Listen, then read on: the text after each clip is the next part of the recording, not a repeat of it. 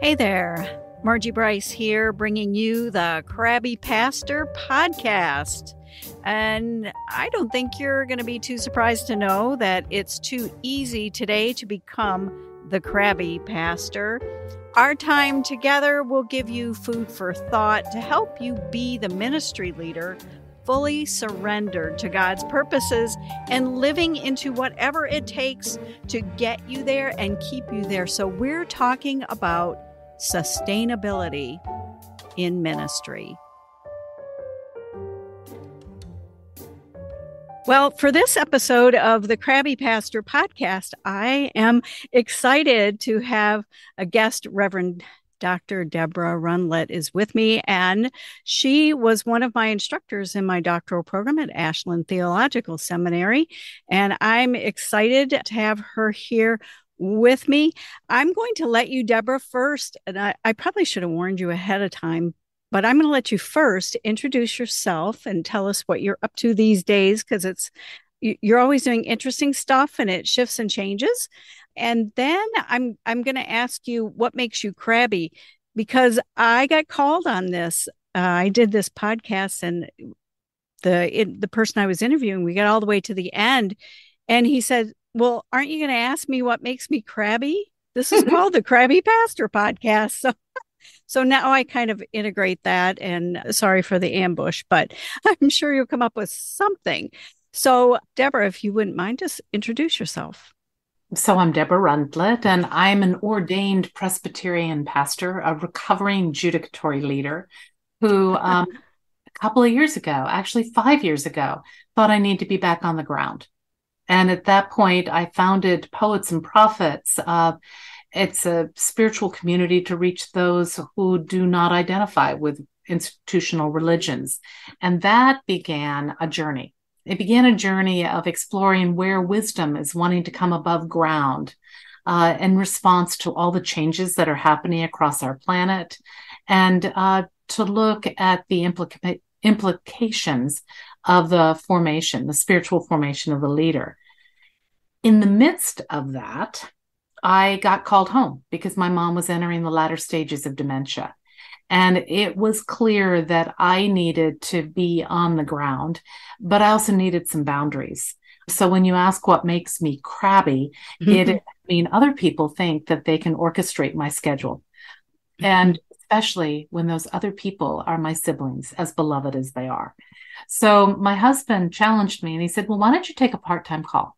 Poets and Prophets will still be there, and indeed it is. And it's a piece of the work that I do every week.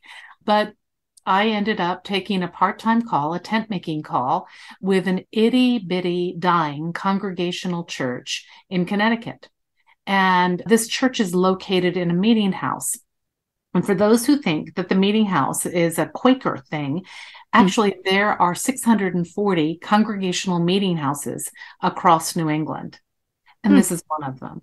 And the meeting house was at the center of the town square. It was the place where the community gathered for every aspect of their life, including worship. And as we began to distill and explore what it meant to be a spiritual community in the 21st century, we began to realize how important that connection to community was. So, for the last five years, we have been one of 15 congregations in the United Church of Christ exploring new forms of community. And that's what we do. Okay. And it's been amazing. I mean, this is interesting because you're talking about these meeting houses as being community space, including worship. So they probably conducted governmental meetings or informational kinds of meetings. And the community was brought into that space for that purpose, which is kind of interesting because today's typical model church is you know you have the church and and i don't know you might have the boy scouts or girl scouts come in occasionally but it's not necessarily seen as um, the center and the hub. And and of course things have changed. It's the 21st century now. So well, and you know that this thing called COVID happened. Right. So everything got shut down. But in the midst of it, this meeting house has been here since 1760. That's an important marker, which I'll reference later. But we were asked to ring the bell every single night for our essential workers and medical personnel. And that engaged the entire neighborhood. Ring the bell. Ring the bell for what? The like tower bell. Once a day to acknowledge day, them? Or? To acknowledge them. Oh, and okay. The whole neighborhood showed up to ring the bell. So there was a waiting list to ring the bell. Oh. People got on the lawn, socially distanced as their family units, and rang their own bells with the, and it became one of the ways in which the community actually began to come out of their houses and gather. That then led us into conversations with the community in lawn chairs in the parking lot, again, socially gathered as to why is this 5.65 acre campus here? It used to be the center of this community. What's needed in this community now? And passion precedes purpose. Uh, deep, deep concern about the environment. So the wetlands are being restored on the property now, driven by the neighborhood, not by those who happen to be members of Ridgebury Congregational Church housed within the meeting house. So we now look at the meeting house as one house, many rooms, inside and out. Um, the four program, if you will, but they're not really programs. The four areas of passion, the arts. So we have open to community art gallery for artists of all ages, basically age two on up. And hmm. the exhibits uh, rotate every month. We, but we also have conversations about how art matters and shapes the, the whole person. And that brought a collaborative rental partner called Art in Common, working with the arts through issues with refugees, through identity issues, through diversity, equity, and inclusion issues. Again, expanding beyond what we ourselves could do as a local congregation and reconnecting us as a center in the community. Meanwhile, uh, Cornerstone Home and Gardens has become another partner who now works with neurologically divergent adults to farm the land. They claim that their sweet corn is the best sweet corn produced here mm-hmm. in part of Connecticut, along with their heirloom tomatoes. And so we'll find out this summer.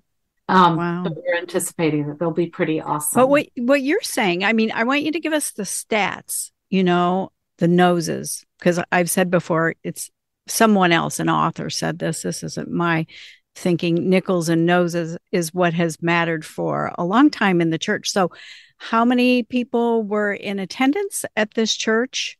I'll start there. Where, go ahead. We have a congregation of 21. Okay. So and- this is this is 21 and you you identified them as a a dying congregation, correct? Correct. And that congregation now worships between 25 and 35 on Sunday mornings. They're a predominantly older congregation there's tenderness as 35 people show up to help clear invasives and create paths down to the pond.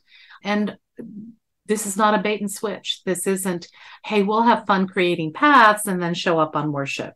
We've made a commitment to move beyond what we call the ABCs of attendance, buildings, cash on hand, to the DEFs, discipleship, equipping, and formation, and to find ways to do that that fit the needs of the 21st century. And we're learning. We have no idea what we're doing, but we figure out what works. We let go of what doesn't work.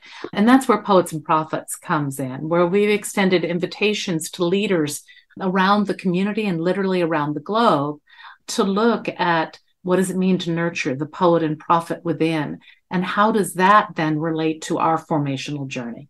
To our core identity. You know what I'm about to say to character being transformed degree by degree until it takes on the likeness of Christ, to understanding that call is found in the intersection of our strengths and passions. Passion precedes purpose, but not just because we want to do it in response to the needs of the community. And then we might begin to look at competencies. But but first, core identity, character, call in the context of the whole community. And, and so when you say community, you're not just talking about the faith community. Oh, you're no, talking about predominantly. Yeah, you're talking yeah. about the place where this meeting house is planted, the town. Yes, exactly. Right. So yeah. so even as I hear you talk about the kinds of things, the kind of endeavors that this group is collaborating with other businesses and groups in the community to bring about, to be a blessing to the community. Who decided what these items would be? How were they evolved? So, this is a congregational church, which means everything is decided by everyone. However, it is also the congregation made the commitment to restore the commons. So if you were to read um, Diana Butler Bass's book Grounded, there is a whole chapter on the New England Commons and the importance of it and the source of it being the congregational church. So for them, they're going back to their DNA.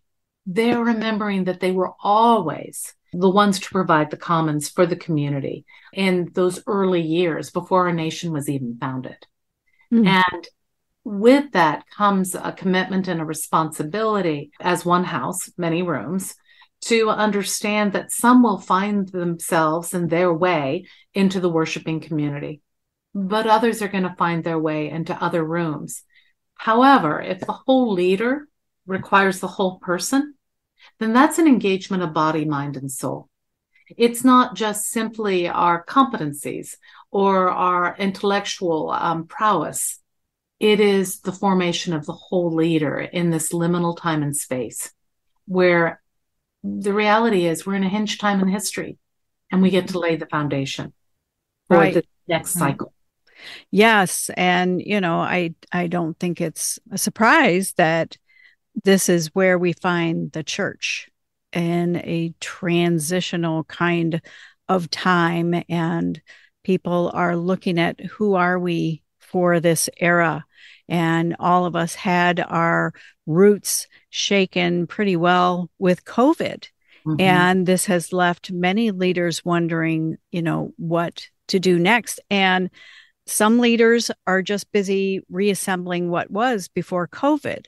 And the challenge for us in this day, space, and time is to, I would always say, not be running on the hamster wheel so that you can hear the call of the Holy Spirit into some new things and into new endeavors where the church exists to bless their community. And I'm thinking of a community here. I'm in Oxford, Michigan, where there was an active shooter situation in the high school about a year and a half ago. And we're still traumatized and working through all of that. And a Lutheran church with a pretty uh, broad minded, meaning he doesn't think of just his group of followers, broad minded, thinking of the town and the area that has endured this trauma. His group, that church, is doing fundraisers. So you might go to the local brewery and and pay to be part of a euchre tournament, and all the funds have gone into a place where people can come and bring their proof of payment for mental health services and get reimbursed. And this small group, I'm not sure they're a hundred. I don't think they are. They have managed to give away a hundred thousand dollars plus. Mm. And and just purely to bless the community to make a difference in their community. And I I so resonate with that picture that fund is totally separate from their operating costs and their tithing and any other missional kinds of endeavors. It's totally just we're going to do these fundraisers. Come on out and uh, raise raise some funds for people's mental health costs because you know they're not cheap. So, but they're dearly needed. So that is, uh, you know, a I think it's a step in a good direction for them so that they're blessing their community. Talk to me some about the historic significance of the meeting house. I think you went all the way back, you started in the 1700s and then talked about different you know there was influenza in there which i thought was kind of interesting because here we are on on our little trajectory and and then covid and you know now we're all kind of what do we do now well, what we found is that in 1820, 1920, and then again in 2020, there needed to be a very intentional choice to choose life. But as we looked deeper, it wasn't just simply this we choose life and everything's going to be fine. Um, that choice is made in the midst of the cultural context and the environmental context and the historical context in which we find ourselves. So during the influenza, 1918, 1990, 19, the congregation literally closed and then was reopened in 1920. Here, we, you know, we had distilled that there was revival and renewal in the 20s for each of those centuries, but we hadn't made the connection. We'll let them go by. That actually it was in the midst of crisis. But there's something wonderful about crisis because crisis opens you up to your community. Everybody's looking to work together to make a difference, and everybody's a choice point and everybody wants to come ring the bell, right? For something. In our case, that was, yeah. you know, one of those quirky things that you could not have planned that becomes one of the Kairos moments. Right. It opens the door to relationships in a in a time and a place where people, you know, uh, press the button, the garage door opens, and they go. The garage door comes down. Well, everybody was home and needed a way to come out safely, and that mm. bell provided it. And then when you were saying they needed to choose life, this you're talking about bringing a congregation and and they're at a place where okay we're either going to dig in and move forward or we're just going to close the doors and not exist anymore. That's the choose life piece that you were oh yeah uh, absolutely. And um so remember i was a judicatory leader and i taught a doctoral track in leadership.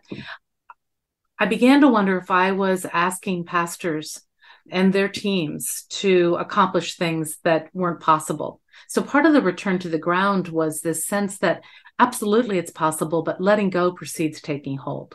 And so the things that we define as most central, even worship on Sunday mornings, perhaps we're misunderstanding. Perhaps worship is supposed to be the whole of our lives. How then do we worship God in the whole of our lives? How do we take that focus off the Sunday morning preacher and the Sunday morning experience to begin to weave that fabric in which we glorify God in everything we say and do? Mm.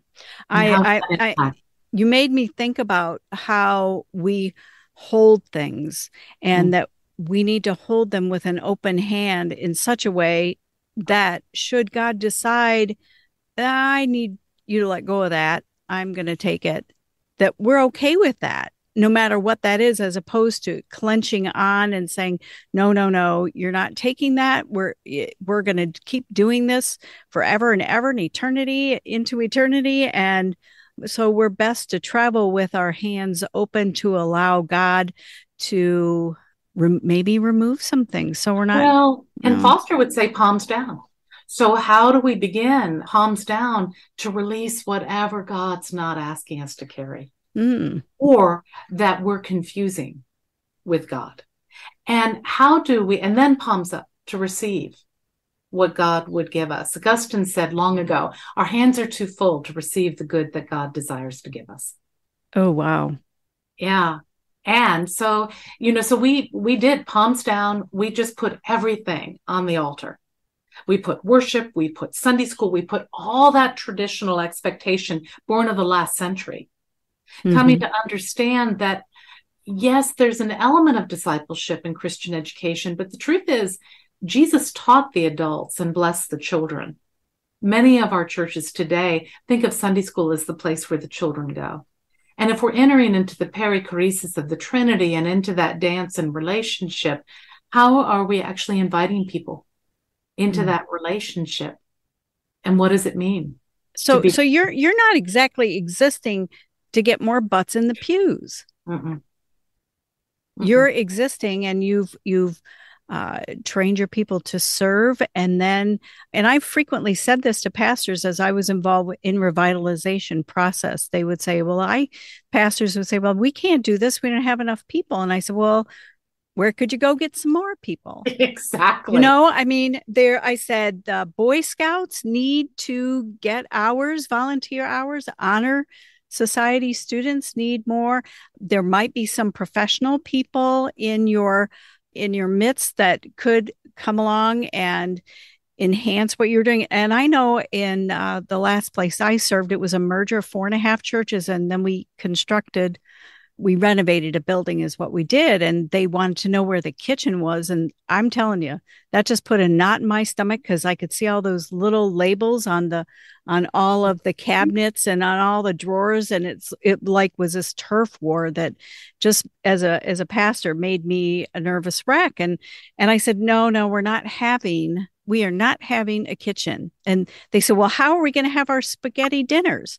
And I said, Well, what were you having spaghetti dinners for? And they said, We got to raise money for our for our operating costs. And I said, Oh my gosh. I said, Well, now you just told me that you have stewardship issues here. so mm. I did not allow a, a, kitchen. We had a warming kitchen and mm-hmm. a coffee bar. And I said, if we want to have a meal, we're going to engage a business owner who's trying to get a catering business going. They're mm-hmm. going to come in and we're going to be friends with them and their workers and we're going to bless them with, you know, regular business. And that's a, that was a my fellowship with one another. Yes, and that's my, you know, let's think about this differently so that our people are not back in the kitchen hiding from the guests, you know?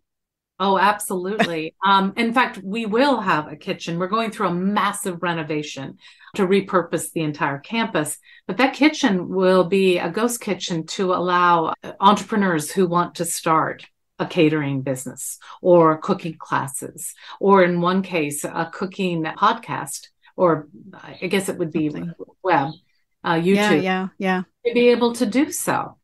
Yeah, that's and that's an innovative look at how you can be friends with people and and still serve and bless a community. And I said, I said we need to raise worms. Mm-hmm. And that came from a congregant who had the most bodacious flowers. And I said, What are you doing to these flowers? Is it miracle grow? Is it what? And she said, It's worm poo. And she showed me her little drawer wow. of worms and how they ate the food and the worm poo went down. dropped down and then she put it in the plants and i said you could make this fertilizing yeah i know we could make a business but the point of having the business would be to help train people how to have a business because you could have the website, you could have customer service, you could have the people back tending the worms and the worm poo and the, you know, and then you get community involvement, say, bring your corn cobs down here because the worms love them. Eh, you know, I mean, there's there's ways that you could still connect with people and seek to bless your community. Yes. It's true. And we got to care about the relationship. Again, not a bait and switch, not a butt in the pew. Right. Right. And I, I've said that to people before that we've been guilty of, oh, come here to our event, wink, wink. And so that wink, wink, you can then wink, wink, come and be part of us and do the things that we do in the way that we do them and the way that we want them done. Yeah. And and we snuff out the creative energies of the Holy Spirit. You know, it's like you're on an assembly line, and I can talk about that because I'm in the Rust Belt. Um, and frequently here in, in Michigan, when you tell people we've got to do better, they think you have to stand on the line and go faster, you know, get more things through, kind of like Lucy and Ethel on the candy line. That'll mm-hmm. that'll date me. That, that picture yeah that that'll date me. But you know where the uh, the assembly line is moving faster and faster and you're getting more done but but you're really not. And where that leaves you is in a place of spiritual independence from the workings of the holy spirit. Oh and exhausted. Yeah that. Absolutely exhausted. You know as you were talking about it it made me think of wisdom from henry nouwen where he said Hospitality is not to make the stranger one of us, but to create the space in which the stranger can come and and be, and in that being become fully themselves, whatever that means. And that's what we're doing here. We've also found, remember, I told you our membership's 21. Mm-hmm. And we're worshiping on any given Sunday between 25 and 35 people are there in worship, uh, which is a significant increase when you think about the size of the congregation. Percentage, yeah. Percentage wise. and, but it is, it's not a, that's not the goal. Our goal is to actually serve the needs of the community. And then we find that there are those who are drawn, not necessarily the ones who have been served. but wanting to come and be a part of it. Yep. Yep. I know one church that I served, we did get a food ministry going. And, you know, one of my congregants said, Pastor, why aren't these people getting in here and helping us? I'm like, well, you you can't if you're serving to get something back, that's not serving. Not serving. You just yeah. you just got to serve. And then just like what you said, it was like God looked down and went, "Oh, look, it's percolating down there. You know, let me send some other people." And people who had not uh, been part of that serving and food process just kind of started showing up. It was it was really um mind-boggling for me anyway at the time and I thought, "Oh, hey, maybe we've hit on something. I mean, I having taught revitalization process process quite a few times. Um, you know, people just you know raise their hand and they just say, "What's the magic bullet here? How do we get people in here?" No, well, you know, I did. I did start telling people, "Here's the magic bullet." Everybody's got to go out and be friends with somebody, and not not just like friends for the sake of getting them in here, but like friends. Friends, you might have to invest a couple of years in that friendship and build a relationship and see if they're at some point interested and that i think that is the piece that the church needs to hear today is that oh, it is about relationship it is not about uh, programs really people want to be engaged with other people and programs can then work into that but it's got to be predominantly relationship i think anyway you probably have more good stuff oh, to add. I totally agree with that. I mean, it, it, brings me back. Did we ever? George Bullard uses the um, the image of a car and visions in the driver's seat, and, yep. and next to vision is relationship. And in the back seat, I mean, they're still there is program and process and and the structures that support yep. it, but only in response to the vision in the relationship. Yep and division the relationship. Seed.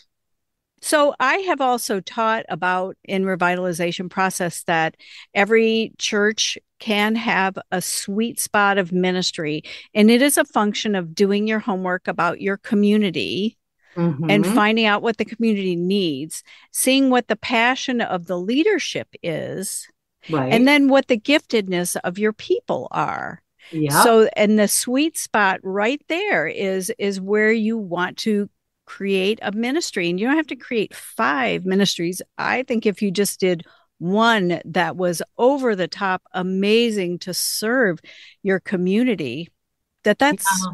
that's sufficient you know i we we think we've got to have all 50 spokes of the wheel and really if you just had one really good um, process or way that you serve your community, I, th- I think you've nailed it. Absolutely. And uh, the reality is, if in fact we have are in a congregation that's been on extended decline, uh, the energy level is not going to be there for more than that one thing. Mm-hmm. And it's being realistic. Abs- oh yeah. Mm-hmm. I've frequently thought about um, people who now are maybe in their 80s, 85 in your congregations, and you think, wow, you know, I mean, they've been there probably faithful and to the best of their ability, serving God in the ways that they know and understand as a function of what their probably pastor slash leader taught them to do and to be. And and then at the end of everything you know years of faithfulness do you just kick people to the curb then and and I don't think that's an accurate picture either. I think there's something that we all can do and and then we have to go find other people to come do it with us if we have a, a, a good enough thing like the commons or having that area and that space that this church way back in the 1700s provided they found that in their in their dna that's pretty pretty amazing or like the church in in my neighborhood over here that saw the need for mental health services and decided just we're going to raise money and have a fund and we're going to give people money for that. And i've often wondered about i i just grip my teeth every time i go by.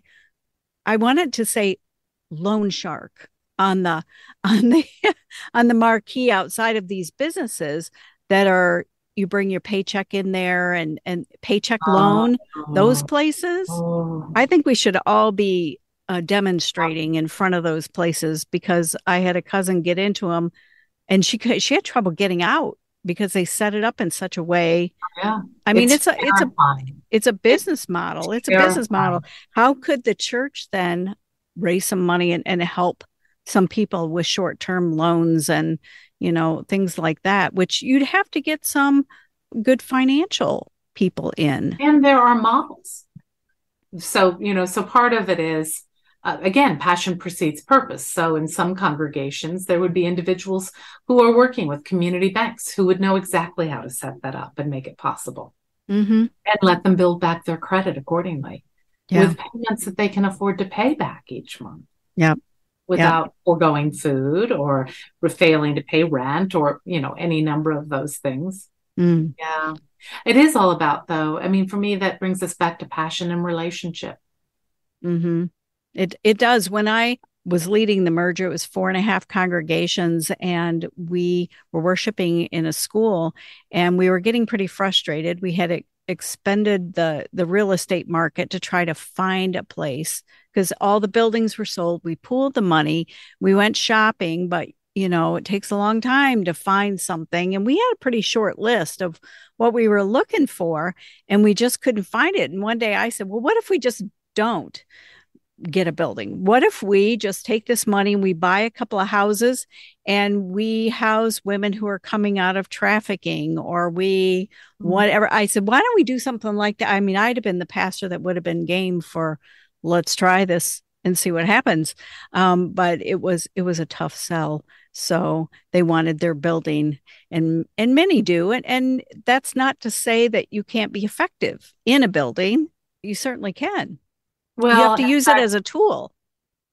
Have you? Um, I don't know if you've tracked with what a team of millennial researchers are doing out of Harvard Divinity School, but the Sacred Design Lab actually is pulling people out of their buildings. And for us, it was really helpful to be in conversation with them because we realized how important place was. Mm. There has to be a location for community. And if indeed part of the historic hospitality is to provide those commons, then we're going to do that. Right. Right.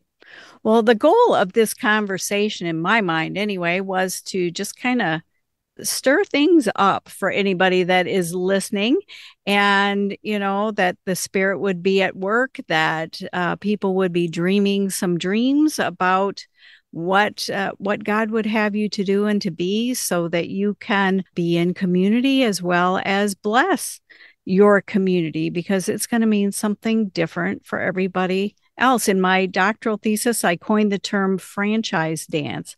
And I said, we have got to stop doing the franchise dance and just replicating what everybody else is doing or what the, the, the biggest fad is at the moment, what's trending now that we all have to do. And then it kind of reverberates through everywhere but really sincerely stopping and asking God, what should we be about? How can we bless our community? How can we bless our community? Do you have any parting thoughts, Deborah, that you would like to offer us? Yes. Don't forget to play. Oh. You know, joy is contagious. And when we take the time to play, it gets us into different parts of our brains and our bodies and it releases some of the ought self, thinking like, we ought to be doing X, oh, Y, yeah. and Z. Yeah, yeah. And yeah, my, my my spiritual director called that should, and she would say to me, "Stop shoulding on yourself all the time," you know. And that, yeah, the play and and not being afraid. Uh, this goes with play, I think, not being afraid to try something Exactly. And just see what happens. And if you never fail at anything, it's because you're not trying anything. Oh. so you need to be trying. And even if you fail, try something else. Then eventually you will get to where you need to be um, because you're you're still in process and you're still on the journey and you're still testing the water, so to speak. Yeah. All well, of the above. Well, thank you very much for joining us here on the Crabby Pastor podcast. And I wish you blessings. And I will put information about the meeting house in the show notes. So if you want to go check that out, uh, and I will get other information for that that Deborah will probably provide me with, so you can maybe just sort of scope some things out, but be in prayer about what uh, what God would have for you to be about. Hey, thanks for listening. It is my deep desire and passion to champion issues of sustainability in ministry and for your life. So I'm here to help. I stepped back from pastoral ministry and I feel called to help ministry leaders uh, create and cultivate sustainability in their lives so that they can go the distance with God and whatever plans that God has for you. I would love to help. I would consider it an honor. And in all things, make sure you connect to these sustainability practices, you know, so that you don't become the crabby pastor.